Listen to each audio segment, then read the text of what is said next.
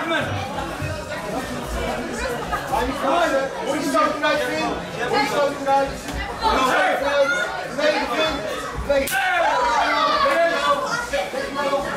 Moet je zo knijpen, rechts terug. de je Hoe knijpen. Moet je de knijpen,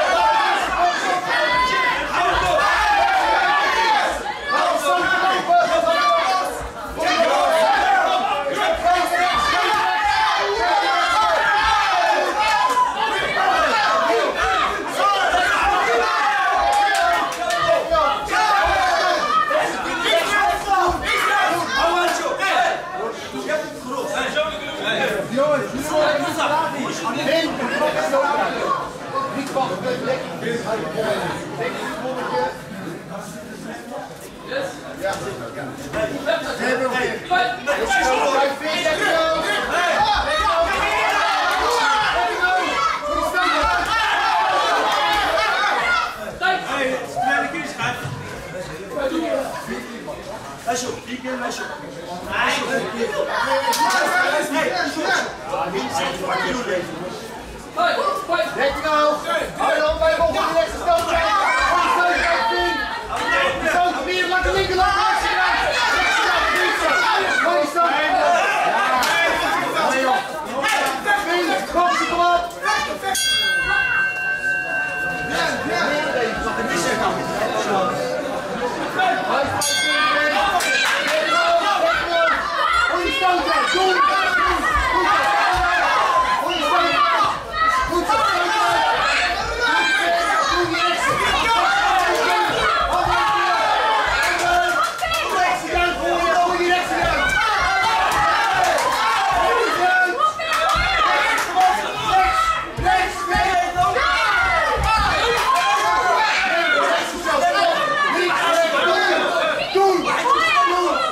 God!